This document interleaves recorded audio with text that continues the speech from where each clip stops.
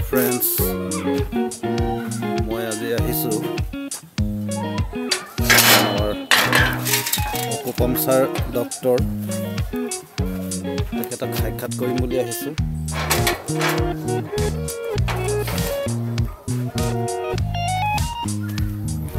জোনাই তিনি নং মকুচলেক গাঁৱৰ ডক্টৰ হৰিশংকৰ গগৈ তেখেতৰ নিজা বাগগৃহতে তেখেতৰ চেম্বাৰ আছে। আৰু তেখেতক আজি অকণমান সাক্ষাৎ কৰিবৰ কাৰণে ওলাই আহিছে।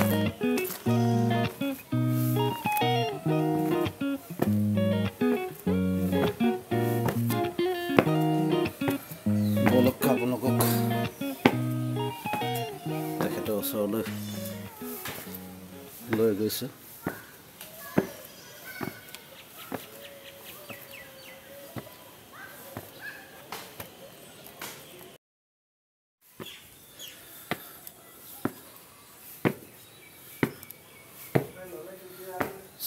চেম্বাৰলৈ আহি আছোঁ এতিয়া জোতা লৈ আহিছোঁ আৰু দেই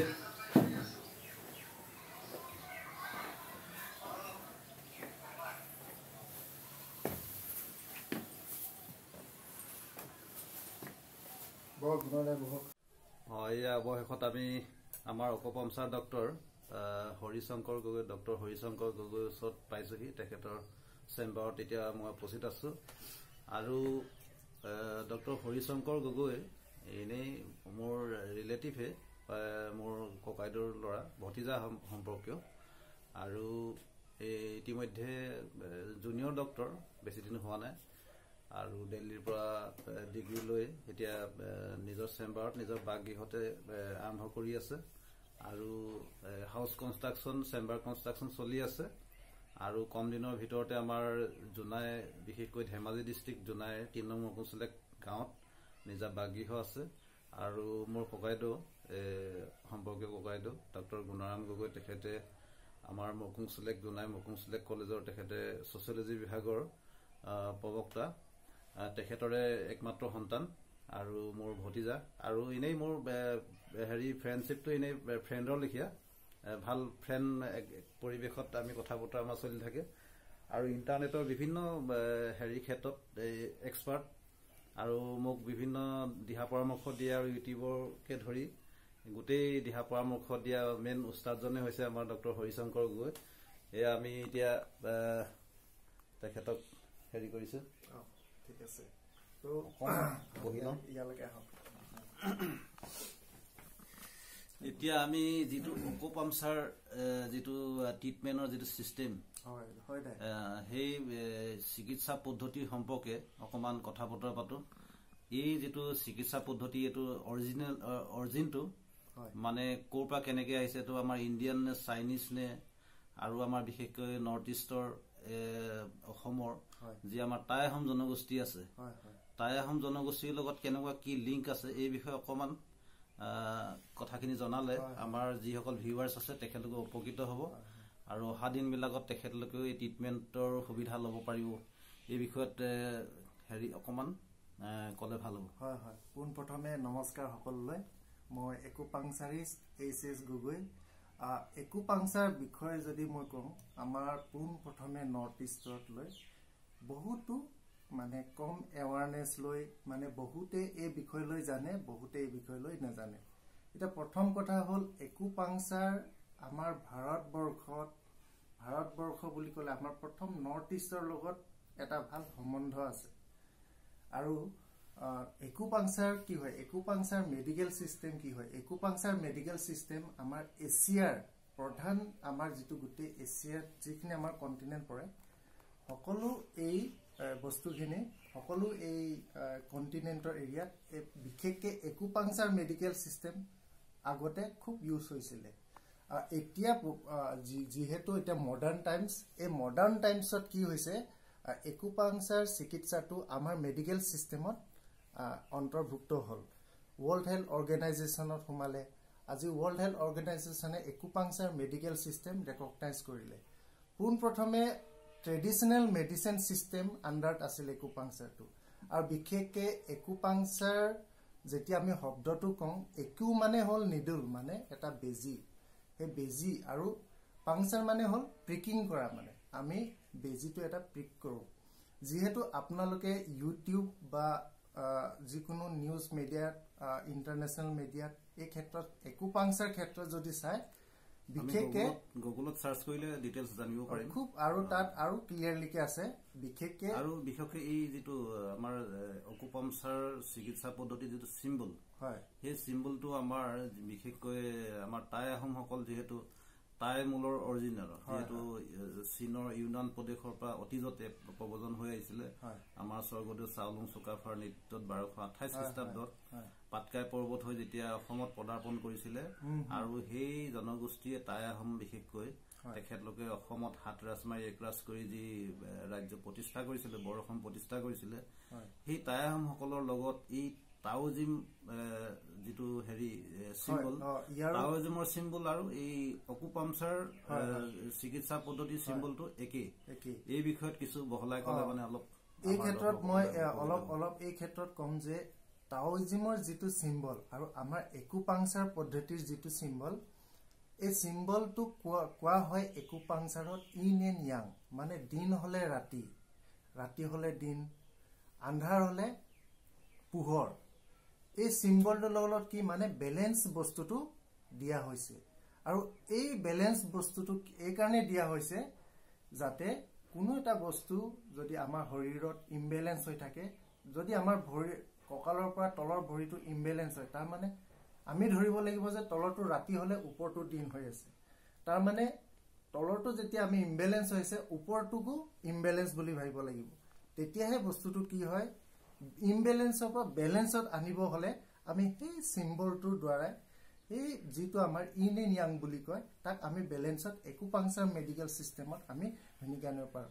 আৰু যিহেতু টাওইজিম বুলি ক'লে টাই আহোম টাই খামটি টাই লুৱে টাই ফাকে, আৰু ইত্যাদি ধৰি লৈ আমাৰ যিখিনি সম্পূৰ্ণ এছিয়ান গোটেই এছিয়ান কণ্টেণ্টত যিমান আজি ফিল চৰি থাইলেণ্ড হওক ম্যানমাৰ হওক আপোনাৰ নৰ্থ কোৰিয়া হওক চাইনা হওক আমাৰ ইণ্ডিয়ানত যিটো আমাৰ Indian north eastern north eastern এৰিয়াত হওক আজি গোটেই ভাৰতবৰ্ষৰ গোটেই এছিয়ান কণ্টেণ্ট আজি সম্পূৰ্ণ ৱৰ্ল্ডত এই চিম্বলটো ইউজ হৈছে। আৰু এই চিম্বলটো যিহেতু ইউজ হৈছে হয় হয়।